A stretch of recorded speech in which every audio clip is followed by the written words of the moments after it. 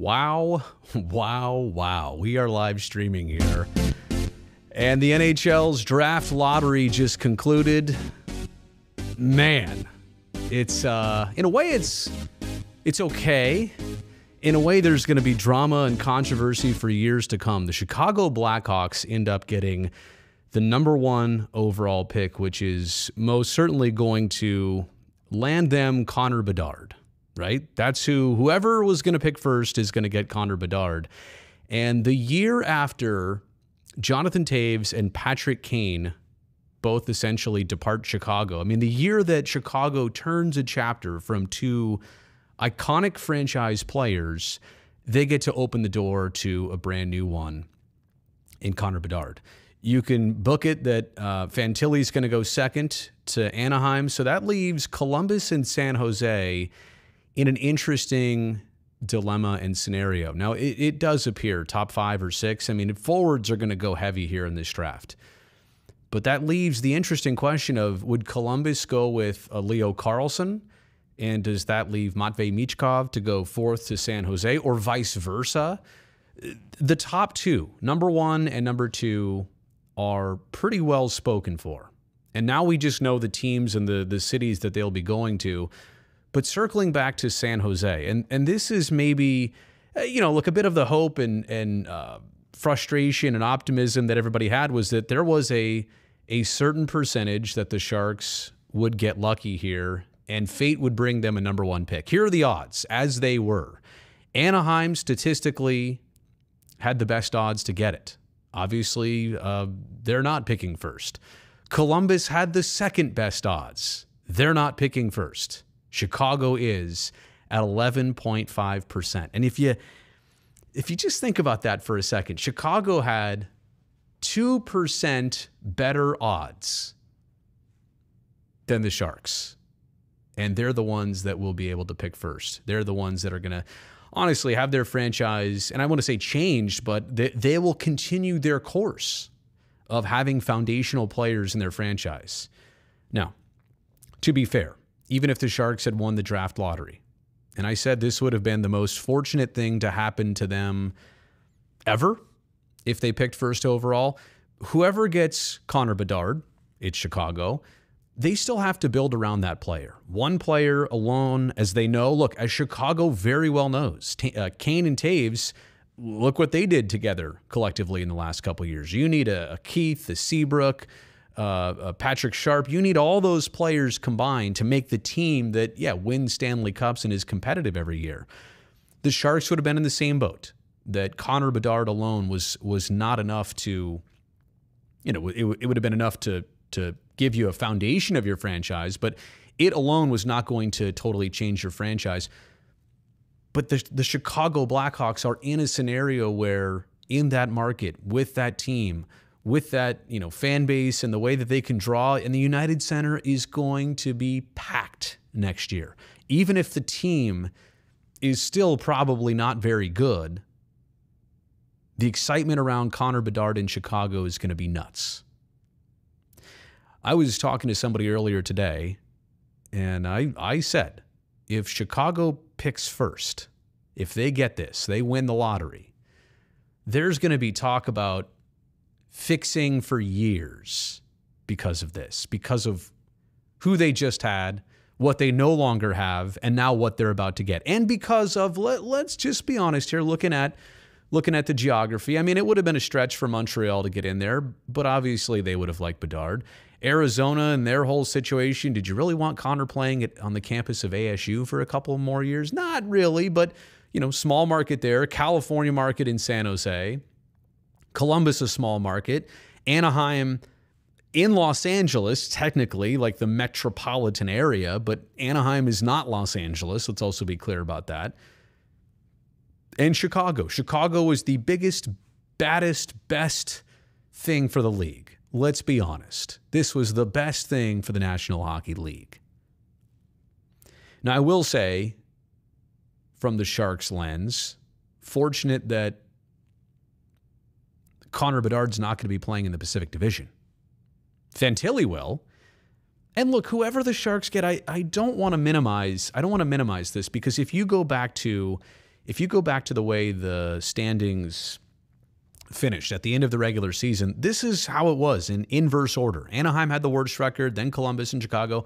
The Sharks had the fourth worst record, and they got the fourth overall pick. So, can you be terribly upset with that? The answer is no. It's kind of a meh situation. There was a possibility, by the way, that the Sharks could have picked fifth or sixth. So remind yourself, it easily could have been worse. It also could have been better. Chicago had a 2% better chance of getting this. And they got it. And they got it. And they got it. I have the new I have the new I have that button. I I don't think I need to use it yet. Say something bad, you know. That's how I feel right now. oh man. Is it a conspiracy? Is it not? Whoa, didn't mean to do that. Um, I'm not going to say that. I'm not going to say that it is. I'm going to say that it's it's frustrating. I'm going to say that you know, we all watched the end of the Sharks season among the worst records in the league, knowing that Connor Bedard's out there. They're still going to get a very good player, whether it's Michkov, who comes with an interesting background and a, and a whole scenario. And I very much encourage everybody out there to go back on this channel right now. I've got player profiles of who I think would be the top six draft picks. I did six because that's the the lowest the Sharks could have picked. I did one on Benson, Will Smith, uh, Leo Carlsson. I did one on uh, Michkov, Fantilli, and obviously Connor Bedard. So those previews are all out there right now. I see Manny V asking the question here uh, early prediction for the fourth pick. And it's it's honestly, like I said, it's it's really hard to know. See if I can prepare this properly to uh, to go on the live chat. It's really hard to know because I don't I don't know who, what Columbus is going to do ahead of the Sharks. Again, you know who one is, you know who two is. It's going to be, in my opinion, if Carlsson's out there, Leo Carlsson's there. Matvei Michkov is an interesting story. He's under contract with the KHL until 25 26. You don't really get to have him in your, truly have him in your pipeline for a couple more years. So that might be a deterrent of the Sharks actually taking him. Yeah, thanks, Bettman. See, that's what that's what a lot of people will say. And that's the other part of this cricket is the Sharks will get a good player. They will get a you know, hopefully a long time, like a, a good big building block type piece. Uh, is it Alvaro? Carlsson will be a shark. Yeah, we'll, we'll go back to having two Carlsons again a, a C Carlsson as in Leo, and a K Karlsson as in Eric. Just, oh, Triple G, oh, uh, Triple G 806, as in Will Smith. Yeah, uh, highly touted as well, too. Take the best player available at fourth overall. Do you take the best player? What if that player, if I told you it was Matvei Michkov, and you wouldn't be able to have him on your team for a couple years? Even in your in your pipeline for a couple years. He's committed to the KHL.